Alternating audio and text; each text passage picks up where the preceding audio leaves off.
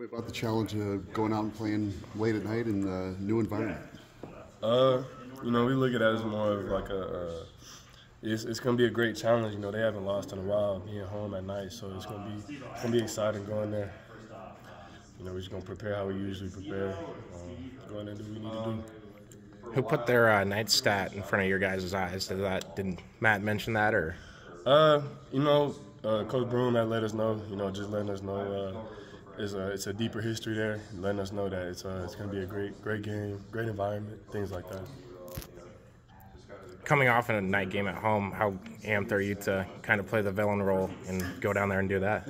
Nah, yeah, uh, it's exciting. It's fun. You know, you you got a big opportunity placed in front of us to be able to go do, make history. So, what have you guys seen from that Kansas game that you can kind of help yourselves and reverse course this week? Uh, you know, each week, you know, look back at the film as a team, go over it, figure out what we need to fix, you know, do the things that, the little stuff, fix little things here and there, things like that. Retzlaff and Slovis, how are they the same? How are they, how are they different? Retzlaff and Slovis, they're two quarterbacks. Mm-hmm. How are they the same? How are they different? And I suppose you got to get ready for both. Yeah, I mean, honestly, you know, you got to get ready for both. Uh, you know, they're both both good quarterbacks. They both can sling it around. You know, what their offense, you know, real big on throwing the ball around. So.